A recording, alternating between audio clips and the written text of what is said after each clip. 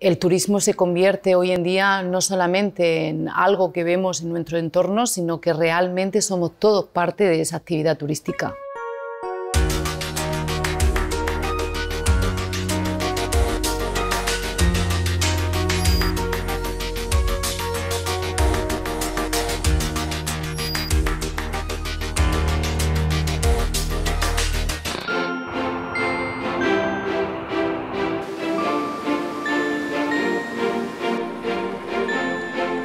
En cualquier momento de nuestra vida hemos viajado, nos hemos movido y en cualquier momento de nuestra vida cualquier persona de nuestro entorno se ha movido y ha viajado en el mundo.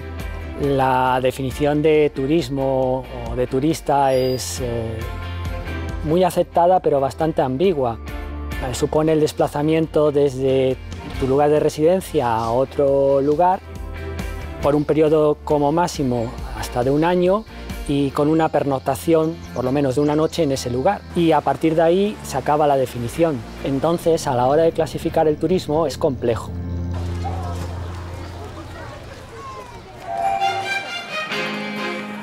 Hasta la crisis de 2008, la construcción y el sistema financiero habían sido los grandes motores de la economía española.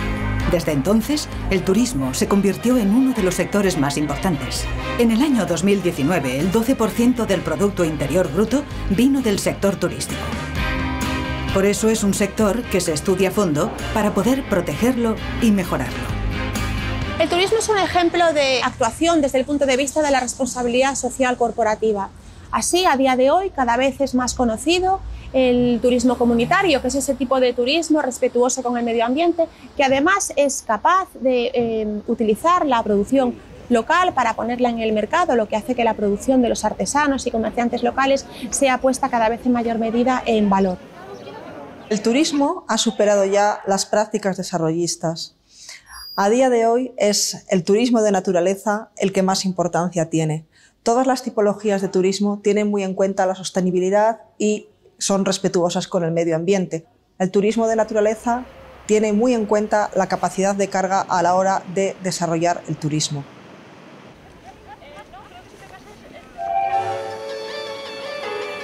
Hay muchos tipos de turistas y de turismo, y eso lleva a los investigadores a preocuparse por el impacto que puede generar la llegada de visitantes a determinadas áreas.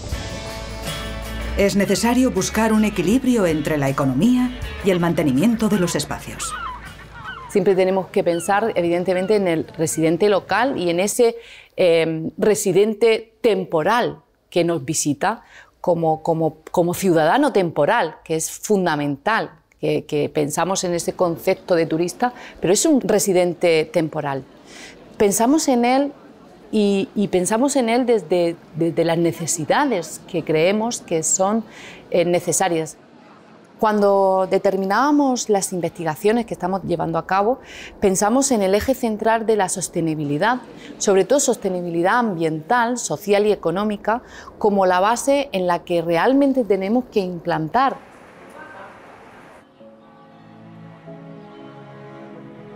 Mi trabajo investigador sobre el turismo cultural y en concreto sobre Toledo se inició con un estudio más general que yo creo que sirvió para situar cómo estaba el turismo en el siglo XXI. ¿no? Un turismo en Toledo eh, con un gran éxito, con un desarrollo histórico anterior que nos lleva hasta inicios del siglo XX, pero que se había masificado, que había conseguido un desarrollo excepcional y los problemas que ya existían se habían agravado. Queríamos valorar eh, el sobreturismo en relación con la importancia económica y social que tiene eh, esta actividad en la ciudad. Y lo hicimos a través de una encuesta a los residentes y salieron resultados eh, publicados que están, son muy interesantes. Realmente en Toledo no hay una percepción de problemática sobre el turismo, sino sobre algunas cuestiones concretas. Por ejemplo, pues como que el centro histórico, el casco, como se llama en Toledo, está siendo casi un museo para visitantes, los comercios son para visitantes, muchas viviendas son de alquiler turístico, etcétera. Pero salvo estas cuestiones concretas, después la gente defendía abiertamente la actividad turística por sus ingresos económicos, porque creaban empleo y también porque suponía una oportunidad cultural para, para la ciudad.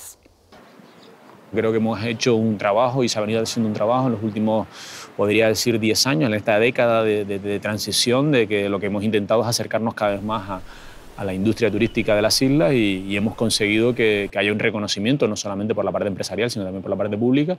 Y yo creo que ahora mismo lo que hay que es seguir caminando y seguir consolidando las estructuras que ya hay, que ya existen, pero también buscar otras soluciones, otros elementos que permitan esa transferencia, que permitan conseguir cosas mejores ¿no? para Canarias y para el turismo de Canarias si lo hacemos todos juntos y lo hacemos con una visión estratégica, yo creo que la Universidad de La Laguna en los próximos años podrá ser un referente en turismo, pues no solamente en las islas, en España, sino también a nivel internacional y que yo creo que es lo que tenemos que hacer ahora mismo.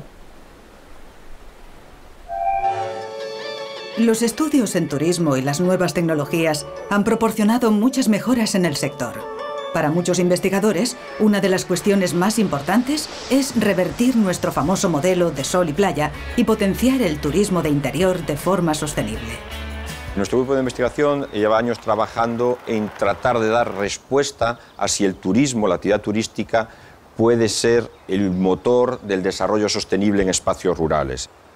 En espacios locales donde son ayuntamientos con 1.000, 1.500, 2.000 residentes, eh, pues efectivamente no tienen una capacidad de gestión. En muchos de ellos el turismo le llega eh, sin ellos tener conciencia incluso, por ejemplo, toda la promoción del Camino de Santiago, que es uno de nuestros eh, objetivos, el de estudio de la vertebración del Camino de Santiago en Galicia, pues efectivamente ellos no realizan ninguna actividad de promoción de sus ayuntamientos, pero efectivamente reciben a estos peregrinos.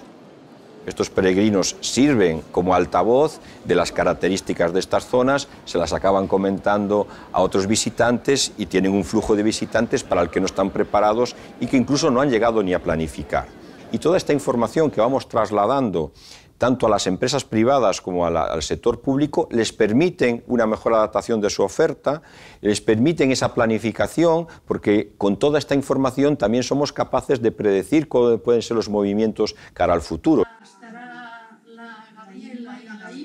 El grupo Tudistar eh, sigue trabajando en la ayuda, como si dijéramos, en potenciar todo lo que sería el turismo en zonas de interior.